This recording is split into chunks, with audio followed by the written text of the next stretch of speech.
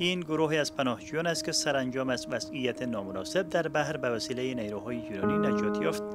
رقم این پناهجویان و مهاجران به 56 نفر می رسید بر بنیاد یک خبرنامه نگهبانان ساحلی این مهاجران در طول روز به نگهبانان ساحلی یونان پیام دادند که حاضر نیستند کمک های کشتی های منطقه و مقام های یونان را بپذیرند.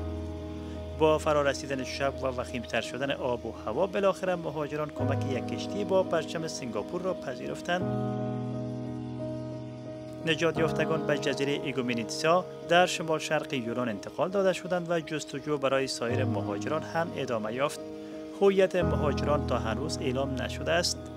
دریای اژه و رودخانه اورست از مهمترین راههای دریایی برای مهاجران است که می‌خواهند از ترکیه وارد یونان شوند. تردد مهاجران از این دو مسیر دریایی همواره به تنشها میان ترکیه و یونان دامن زده است.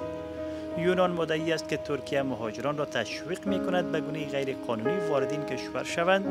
مقام های ترکیه اما این اتهامات را رد می کنند و یونان را به قبراندن مهاجران به گونه اجباری از مرزها متهم می نمایند مقام های یونانی می گویند که از آغاز سال جاری تا حال صدها تن را از آبهای یونان نجات دادند. با این حال سازمان های امدادی و دفاع از حقوق بشر و ترکیه می‌گویند که هزاران مهاجر توسط نیروهای یونانی به گونه غیر قانونی از مرزهای این کشور عقب رانده شدند در یکی از این موارد روز 20 سپتامبر سال روان سازمان غیر دولتی ایجن بوت رپورت گفت که تصاویری را در اختیار دارد در آن افراد نقاپوش یک کشتی مهاجران را در آبهای نزدیک جزیره رودس یونان عقب میرانند.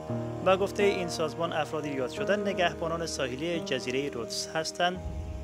در ماه می گذشته بریان یک مهاجر کمرونی به مهاجر نیوز گفته بود که قایق حامل او در نزدیکی جزیره ساموس از سوی نگهبانان ساحلی عقب رانده شده بود. بیشتر مهاجرانی که تلاش می نمایند از طریق دریای اژه وارد یونان شوند. معمولا از ترکیه حرکت می کنند.